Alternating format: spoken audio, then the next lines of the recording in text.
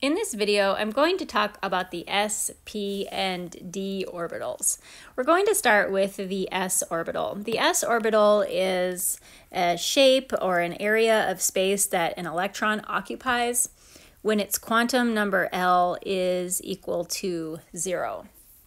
The s orbital is a spherical shape, so if this is the nucleus of the atom, then the s orbital is a three-dimensional sphere around that nucleus. And again, even though I'm drawing a circle, this is a three-dimensional shape. And this is just the area of space, this sphere is the area of space that the electron is allowed to occupy when it is in this particular orbital. So what I've drawn here again is an s orbital and this particular s orbital is specifically called the 1s orbital. In this notation, the 1 is used to indicate the principal quantum number, which is n equals 1. Remember, the principal quantum number indicates the energy level of the electron or the maximum boundary or the maximum size of the orbital. So the 1 is used to indicate the principal quantum number, and then s is used to indicate that L is equal to 0.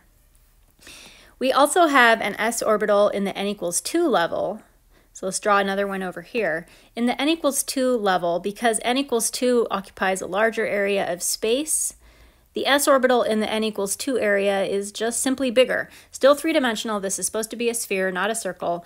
This particular orbital we call 2s the 2, again, is representing that it is in the n equals 2 level, and the s representing that it is L equals 0.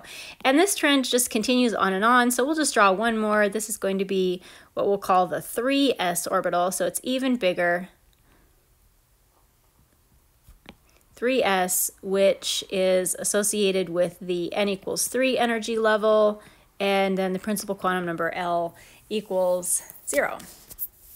For all of the s orbitals, anytime L equals 0, m sub L for that electron is required to be 0. Always remember that um, m sub L starts at 0 and it goes all the way up to plus or minus L.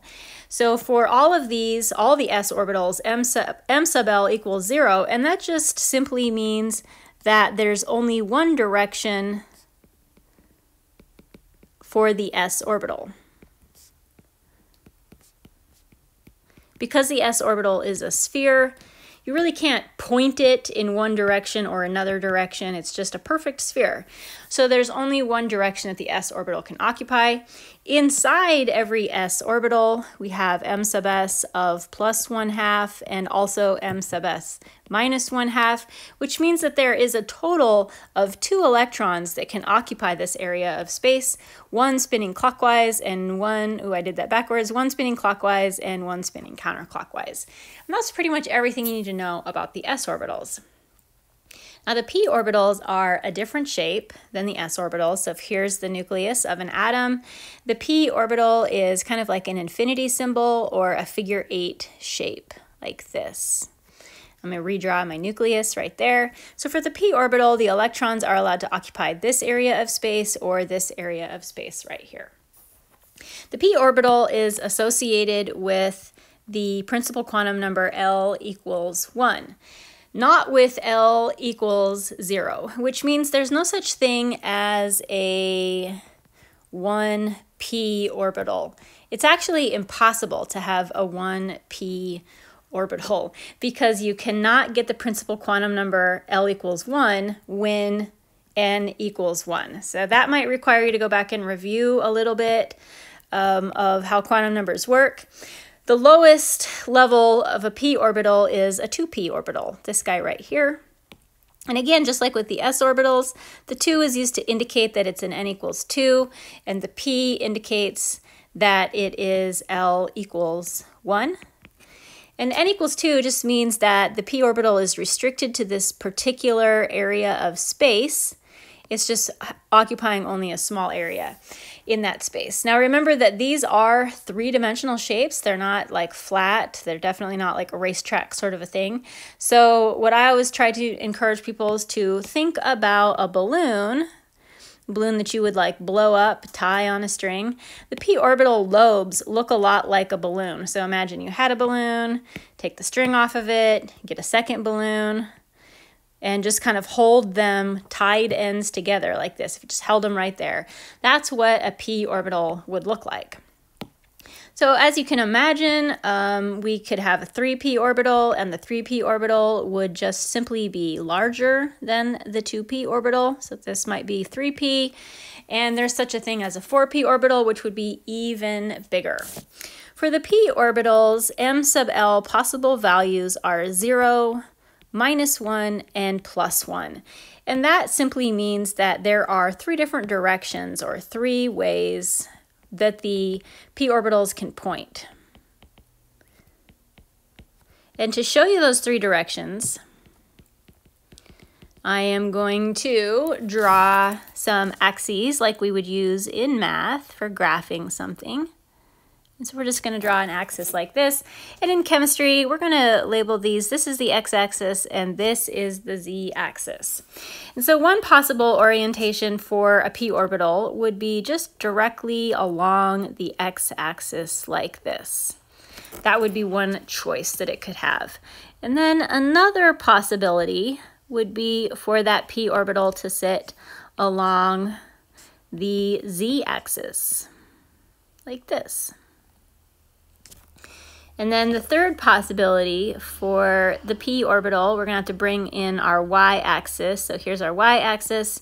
The third possibility is for that orbital to sit along the y-axis, like this. So these are the three different orientations for these p orbitals. Remember there's there's three different directions that a p orbital can point.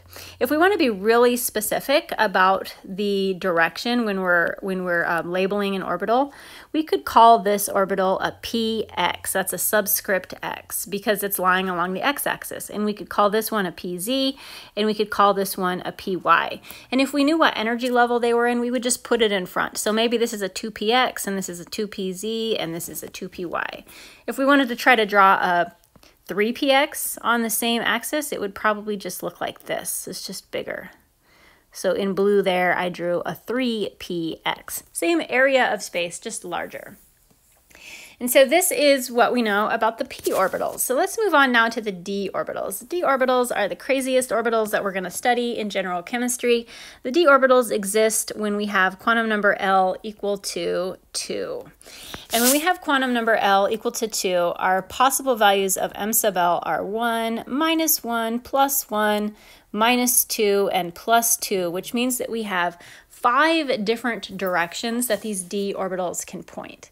And I'm going to attempt to draw all five of them for you, but I'm going to be honest with you, I'm not very great at drawing them. They're not going to look very good, but I am going to do my best. Now I have already shown you a little bit about what the d orbitals look like in a previous video. I told you there were two different types of d orbitals. I'm going to draw the easy one first on this um, on these axes. It's labeling the same right there. And the D, the easiest one for me to draw is the one that looks like it has like a ring around the middle of it. So it looks like a p orbital like this. And then there is a ring that goes around the whole entire thing, which I'm going to color that ring in. And so this is a really weird looking orbital. Like a spare tire hanging around that orbital. This is one of the d orbitals. And this particular d orbital we call a dz squared. That is its name. The other four d orbitals look like, um, kind of like p orbitals, except for they have four lobes on them instead of only having two lobes on them. So the next easiest one for me to draw has, um, going to put the y-axis in here. The next easiest one for me to draw has the lobes, the four lobes, sitting on the x-axis and also sitting on the y-axis. So I'm drawing it like that. Now I want to kind of try to illustrate to you that this is the the um, d orbital itself is is relatively flat. It is three dimensional, so it's not flat like a piece of paper, but it's all this is all in the same plane. If we were looking down on it, it would look like this. And if we were looking at it from the side, it would look kind of something like this. It's all flat but they're, um, the lobes of this orbital are sitting on the x-axis and also on the y-axis, and this orbital's name is dx squared minus y squared, and that's a subscript, subscript x squared minus y squared. So now they just get a, a, little bit trickier to draw, and you can see I was already struggling to draw that last one, which means that this is just going to get harder and harder for me.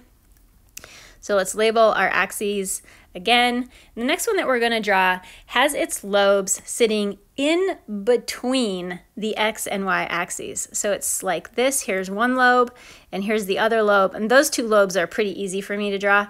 But then we have to draw the third and the fourth lobe that are just, they're sitting in between the x and the y axes. So they're flat. Uh, and like all of these are kind of at a 90 degree angle with respect to each other. This guy's name is DXY, subscript XY. So now we've got we've got two more to go. We can totally do this. While I'm drawing these axes, I'm going to tell you that the d orbitals start at n equals 3. So this might be a 3d z squared, and this might be a 3dx minus y. We can make a note over here I'm taking a break from drawing. There is no such thing as a 1d orbital, and there's also no such thing as a 2d orbital. And again, um, to understand that, you would want to go back to the videos where we're talking about assigning quantum numbers, where you can see that it's impossible to have an n equals 2 with an l equals 2. There's just no, no such thing. So let's let's tackle our next orbital. The next orbital that we're going to draw has its lobes in between the x and the z axes. So the lobes are going to go like here. The first set is always pretty easy to draw, so it's in between the x and the z axes. And the next ones I'm going to draw, oh, I didn't mean to draw that a different size, kind of like this. I don't want to imply that it's on the y-axis. This is called the dx Z because the lobes are sitting in between X and Z. And now we're ready for the last one. And you're probably guessing, kind of seeing the trend here. And the last one, this is going to be called the DYZ. The lobes sit in between the Y and the Z axes. And as usual, the first one is pretty easy to draw, and then the second set gets a little harder. So those are my 3D orbitals. And if we wanted to just kind of envision what a 4D orbital would look like, it would just be larger. So if this is my 3DXZ, then my 4DXZ would just be something that was bigger, but still in the same general shape on the same axes. The last thing that we're going to talk about with respect to orbitals is the relative energy of all of our orbitals. Now this is a concept that we're going to come back to. So this is the first time that we're going to get introduced to it, but we will come back to it um, pretty soon in just a few videos. And what I'm drawing here is a kind of like a um, kind of like a graph of energy where we have low energy down at the bottom of this graph and high energy up at the top of the graph. And what we're going to do is put the orbitals in order of increasing energy.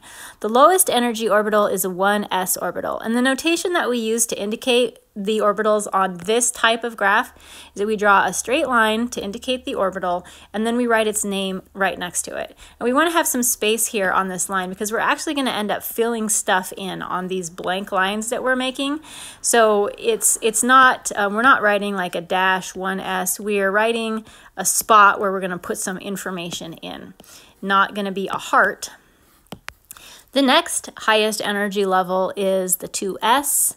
And then after that is the 2p. And remember there are three 2p orbitals. So we're going to make three lines, one for each of the 2p orbitals, and then after that is our 3s orbital, and that is followed by the three 3p orbitals. And after that is 4s, and that, now this is going to feel kind of out of order, that is followed by the 3d. And remember we have five d orbitals, so there's five 3ds. That gets followed by the 4p's, and that's followed by the 5s. And the last one that we're going to put on this chart is the 4d orbitals, five 4d orbitals. This is obviously not all of the orbitals, but this is enough orbitals to get you through pretty much any single general chemistry situation that you might encounter. Now this does look like it's totally random. It starts out having some sort of order and then things go south in terms of the order. What I want you to do is resist the urge to memorize the order of the orbitals because in a few videos, I'm going to show you a really great trick on how to remember this or just figure it out by looking at the periodic table. So we can actually get all this information off of the periodic table just by looking at it. No need to memorize. So I'm going to put a note on here that you don't need to memorize this. Just keep it handy for now. Refer to it if you need to refer to it right now.